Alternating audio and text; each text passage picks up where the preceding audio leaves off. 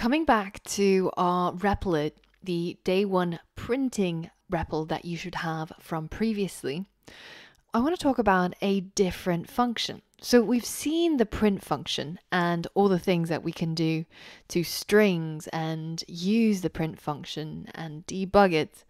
But what if we wanted to be able to enter some data? So if we wanted to say, ask the user, what is your name? And when we run this code, you can see that being printed. But there's no way for the user on this side to be able to give our code some data to work with. In order to do that, instead of using the print function, we're going to use a different function, and it's called the input function. And notice how, as I'm typing, Code Intelligence is already giving me some suggestions because it thinks it knows what I might want, and it's right.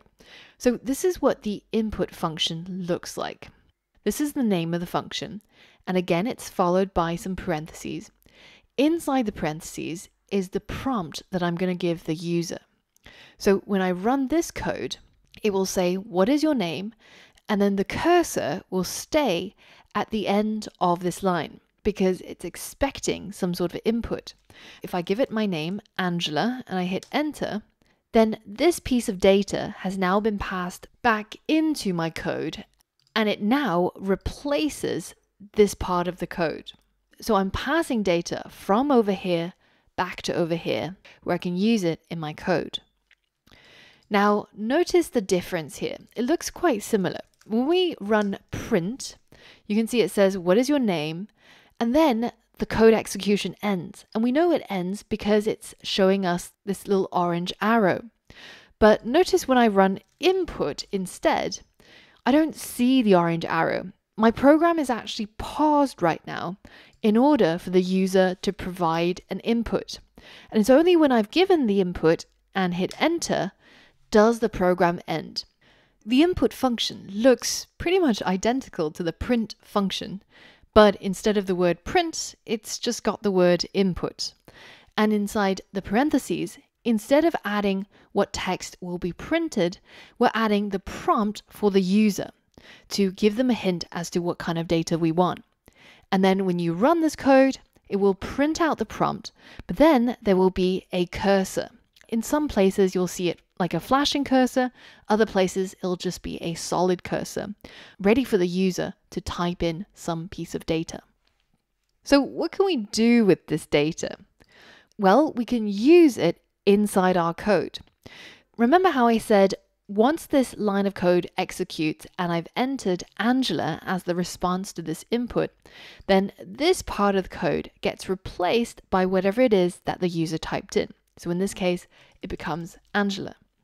And what I can do with it is, let's say I wanted to print um, something like, hello, Angela. Well, then I can simply write hello plus inputs, and then I'm going to close it off with another set of brackets. So I'm going to change my layout. Instead of side by side, I'm going to change it to stacked. And this means that I've got my code at the top and my console at the bottom. This way my line can go a little bit longer without it wrapping. Notice what's happening here. This is the input function that I showed you earlier on. And this is a print statement. So we've got this nested inside the other. And now when I run my code, what happens is it asks me, what is your name? So I'll write my name. And then when I hit enter, this part is replaced by Angela and it gets concatenated to the word hello and the entire thing gets printed out down here. If you find this line of code difficult to understand and to wrap your head around, then I recommend heading over to a website called thonny.org and downloading an application called Thonny. It's completely free and it's available for Windows, Mac, and Linux. And once you've installed this application, you can go ahead and paste your line of code here and click on this little debug symbol. And then we can click on this button, which is called the Step Into button, to step into the execution of this line of code, to see how the computer is evaluating this code here step by step. So you'll see the first thing it tries to do is it will try to run this print statement. It looks inside these parentheses to see what it needs to print. So the first thing is this hello, and it turns that into a string. And then it looks at the next thing after the plus sign to see what it should turn this into. And this, of course, is the input function. So as I continue stepping into it, it's actually going to execute it. So it's going to run this input function and show the prompt, what is your name? So that's what shows up down here. And now if I enter a value in here and hit enter, then that value that I put right there replaces that previous input function and is now held inside the print statement.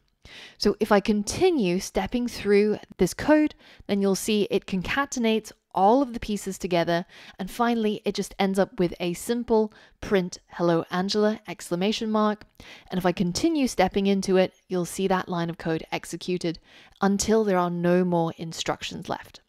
So if you prefer seeing your code um, run like this step by step so that you can see what's going on, then I recommend giving this a go.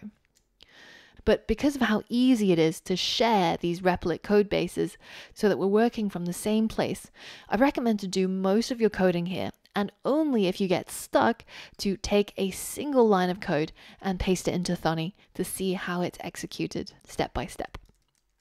As you're learning to code, there's going to be new concepts covered. There's going to be things that take a little bit of thinking before you can understand it. So, what a lot of programmers love to do is they like to comment in their code. Now, you might have seen this already throughout the coding exercises and the solutions I provided.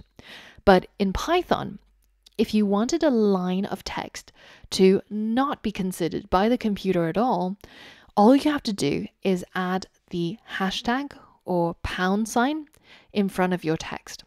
And this turns it into a comment, so something that the computer will completely ignore.